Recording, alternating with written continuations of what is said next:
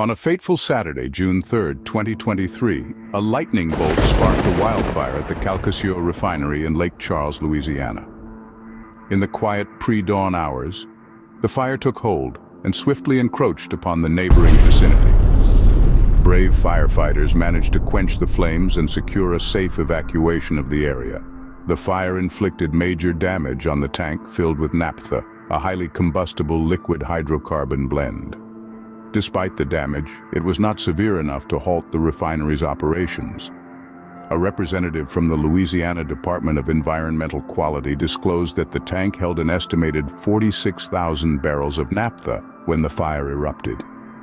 The lightning bolt ignited the naphtha vapors, leading to the swift spread of the fire. Residents within a 1.5-mile radius of the refinery were promptly advised to evacuate. Numerous fire brigades rushed to the site and put out the fire. In the aftermath, crews stayed on the site for several days, keeping a watchful eye on the damaged tank to ensure public safety. Lightning, striking over 8.6 million times a day, can bring about catastrophic outcomes. In this scenario, the lightning strike ignited a significant fire that could have resulted in far worse consequences if not for swift containment. Conventional lightning protection products often fail to fully address the multitude of risks posed by lightning.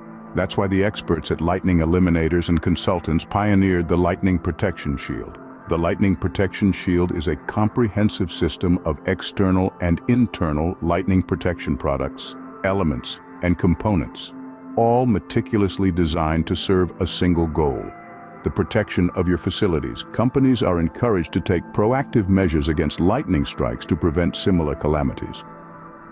Since the fire, the Calcasieu refining facility has adopted a comprehensive lightning protection solution from LEC. Don't wait for a lightning strike to wreak havoc on your facilities. Reach out to LEC for a preventative strategy.